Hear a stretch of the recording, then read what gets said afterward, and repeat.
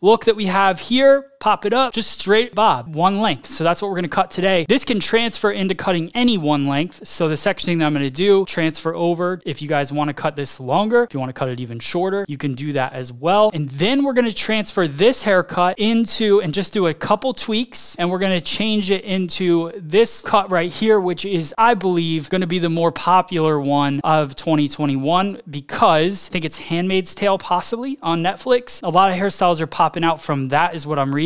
It's the flipped out look. So it's kind of crazy because when I was in beauty school in 2004, this was a trend where the hair kind of flipped out a little bit. It was more layered throughout the, the top, if some of you guys remember that, but it was a it was a trend. Everybody was kind of wearing their hair with these winged out pieces. So pretty cool to see that they're taking kind of a one length bob. We're going to texturize the ends a little bit and then cut that textured fringe at the end. But that's what's going to change this look from being, you know, just that one length center part bob to then becoming this haircut. So cut pretty much the same until the very end where we uh, change those couple things. All right. And now we are going to comb it back, straight back. And this haircut is built off of a center parting. So what I want to do is I want to find that direct center. I'm going to look right at the bridge of the nose here and I'm going to follow that line back. And then I'll show you guys the move we make after that. So right here, straight back, find the bridge of the nose, and then I'm gonna draw my line straight down the center.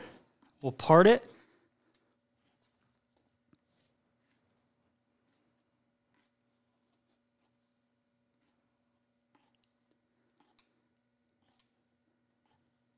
Go.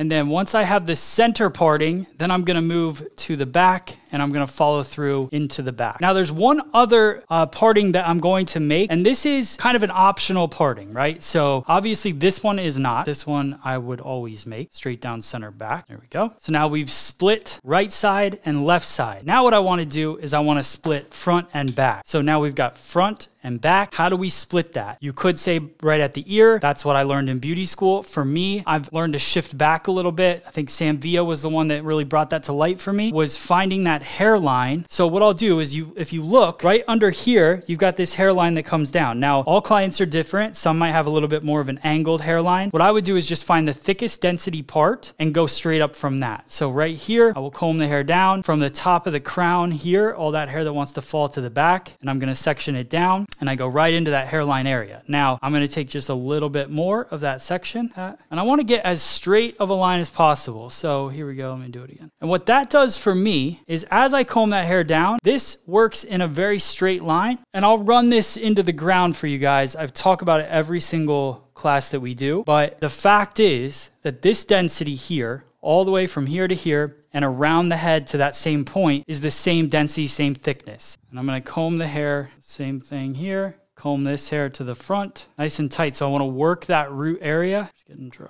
Work that root area here, there we go. And then once I get that comb tight, I grab my clip, I clip it away. It's going to be right across that occipital bone area.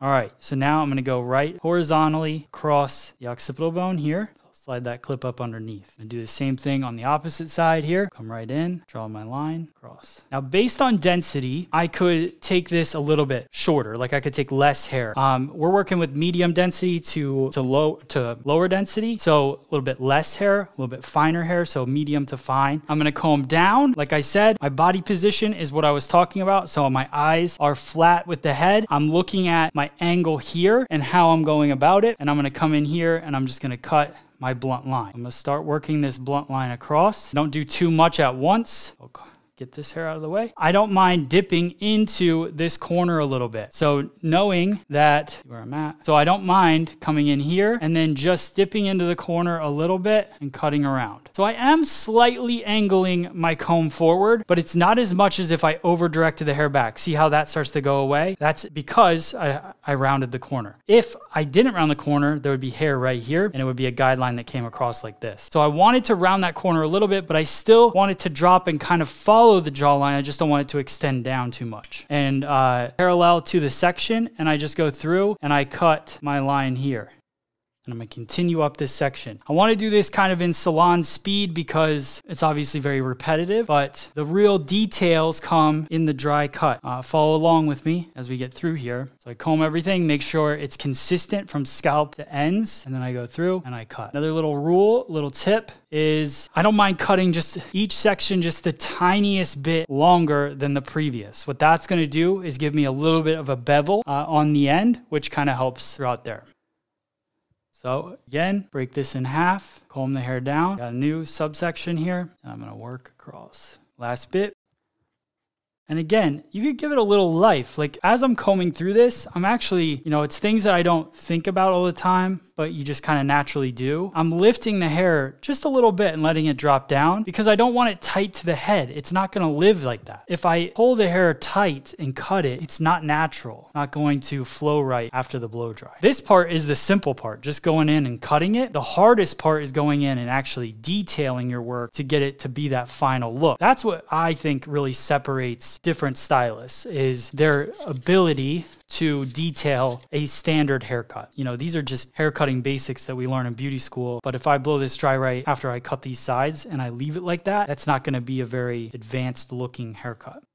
Excited for that. I'm going to be cutting backhand, but my eyes will still be parallel to the section. So comb down if you want, depending on what makes it easier for you. My client's head is going to be straight up and down. So I'm not tilting it at all because I want it to be at natural fall. Other thing is that ear could stick out a little bit. So you could have a client whose ear kind of pops a little bit, pushes the hair out. So what I like to do is just comb that hair natural. And then if you need to, you can tap the ear to just relieve a little bit of that tension a little bit in the section, in the subsection. So here we go, comb it down. And now I'm gonna comb or cut across and follow my guide. My guide is my parting, just like that. All right, so we're gonna do the same thing on the opposite side here. And Michelle, I thought that was a great tip as well. Paul, thanks for uh, sharing the website.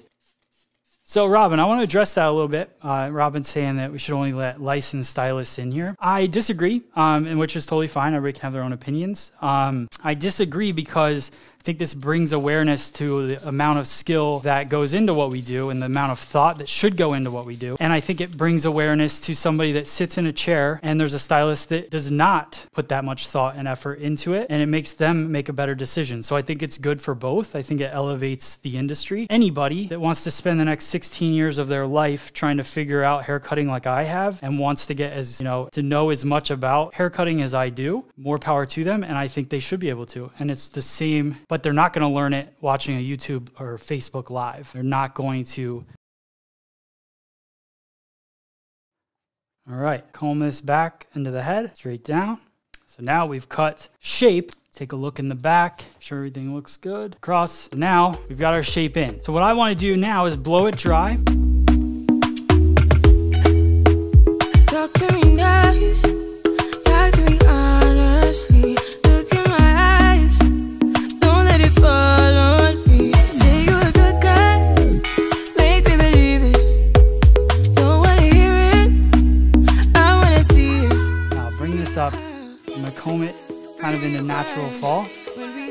Start working a perimeter line and just defining that.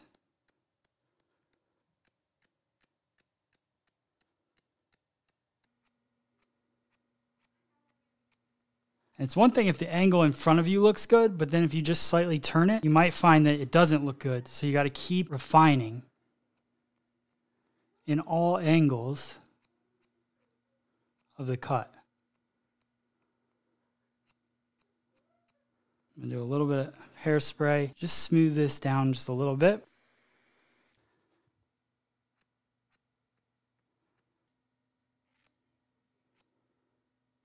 All right, so now I'll start looking at it in all the different angles here to make sure that I end up with a solid line all the way around all in all, I could definitely spend some more time, and I will, uh, refining that line. But that's kind of the idea. So you just keep rotating it, keep looking at it and getting it to that, you know, that line that you're looking for right here. So it has a slight little balance with the jaw and that's where we cut it to. So just take a look at that line that we created. It just has a, a much more flattering look when there's a purpose behind your line. You're not just cutting a line to cut it. So you cut it to definitely showcase the jaw. So there is look number one. We pop up what that we were kind of mimicking here. Now hers is longer, but I wanted to kind of do an in-between of look two and look one. So you can see it's just a nice blunt, nice blunt haircut. Shoulder length looks really good. There's that one. Now I want to quickly show you guys, because we've been on here for a while, uh, I want to quickly show you guys look two and how we're going to create this, kind of flip it a little bit into look number two. They're not that different. I'm not going to cut it wet at all. I'm going to cut the fringe and then I'm going to cut just into it a little bit and show you how I style it. So let's get into that one real quick here. The one thing I will wet down is the fringe uh, because I blew it dry to go kind of backwards. So I want to add a little bit of moisture to those. This won't take much. This is kind of the, the Queen's Gambit, I think it's called. Spin on a 2021 trend. Nice little flip out bob. If you Google Queen's Gambit hairstyle, I think that's majority of what comes up. They have a lot of cool hair on that show. I don't even watch the show, but I just did a little research. Down to the hairline. So take out a little triangle there. Clip that away. So now I've got this area for my fringe. Again, add a little bit of H2O. And now I could cut this fringe using my scissors. So I grab the fringe in my hand, and here's what I'm gonna do. I'm gonna pinch it so I comb the hair like this, pinch it together in my hands, make sure my thumb is kind of pointing directly over the bridge of the nose. And then I go in, I got loose tension, and I start working that 25 texture side. Now I'll go a little bit high and a little bit low. So kind of back and forth. And then what that's gonna do is just give me some different lengths and remove some of the hair. So now I've done that, right? Now I'm gonna go in 100% and finish off the line. So just 100%. All right, so now what I wanna do is blow dry. Talk to me nice. Talk to me honestly. Look in my eyes. Don't let it fall on me. Say you're a good guy. Make me believe it. Glad you guys like Don't it. wanna hear it. I wanna see it. Transformation. So we went from look number one to look number two with just a couple swipes of a TriRazor uh, to get it done. Thank you guys so much. I'll see you on the next show.